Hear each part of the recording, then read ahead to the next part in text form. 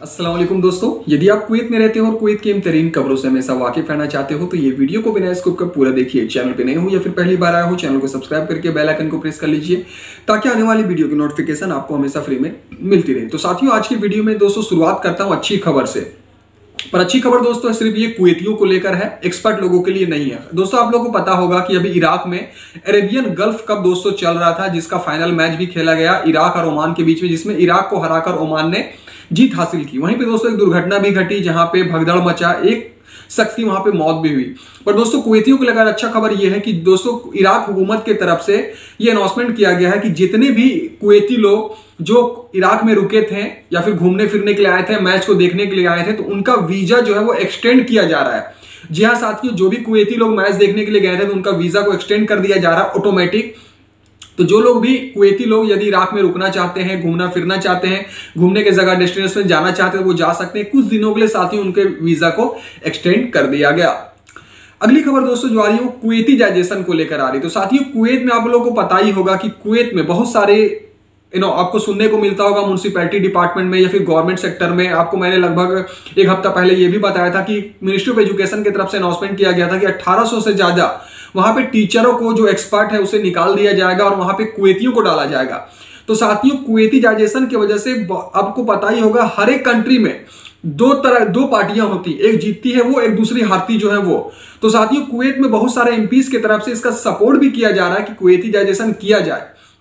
और बहुत सारे लोगों की तरफ़ से इसका विरोध भी किया जा रहा है। क्योंकि दोस्तों, बिना कोई वजह के, बिना कोई नोटिस के, वहाँ पे एक्सपर्ट लोगों को कुवैत से निकाल दिया जा रहा है और वहाँ पे कुवैतियों को डाला जा रहा है। तो दोस्तों, जहाँ तक मुझे तो ये लगता है, ये पूरी का पूरा गलत है, क्योंकि बिना किसी वजह के, बिना कोई मतलब नौकरी उनको दिए हुए निकाल देना, ये तो बहुत ही गलत होता है। तो इसी को लेकर दोस्तों, वहाँ पर बातचीत काफ़ी ज़्यादा की जा रही है। अगली अपडेट की ओर साथियों चलते हैं। अगली खबर दोस्तों, जो आ रही साथियों आप लोगों को पता है कि कुवैत में ठंड काफ़ी ज़्यादा बढ़ गई है, मौसम काफ़ी ज़्यादा चेंज हो गया है।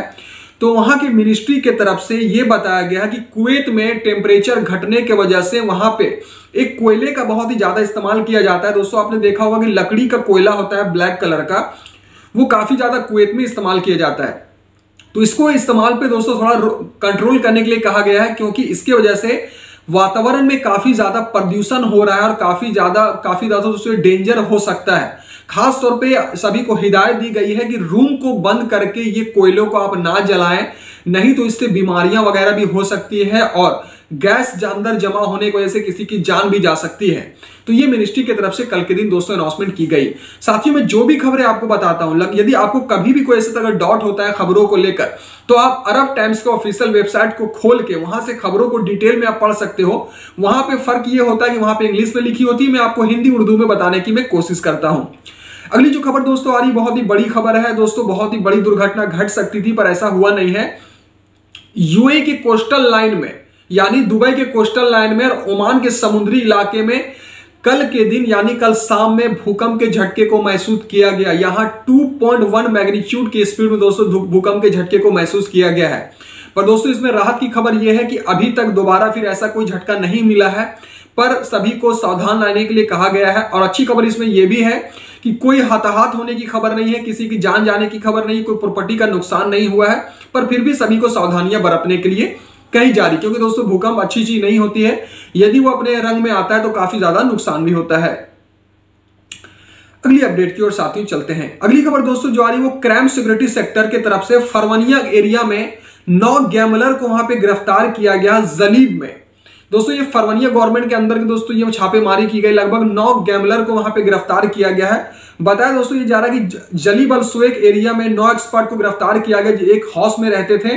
और वो मनी लॉन्ड्रिंग का भी काम करते थे और प्लेइंग कार्ड यानी जुआ वगैरह भी खिलवाते थे, खेलते थे।